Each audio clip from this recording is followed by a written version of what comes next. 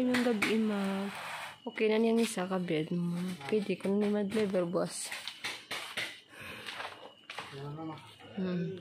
Tapos ang sa kilid dyan, hindi ko makita din.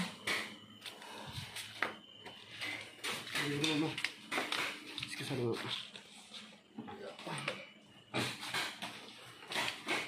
Ano siya na na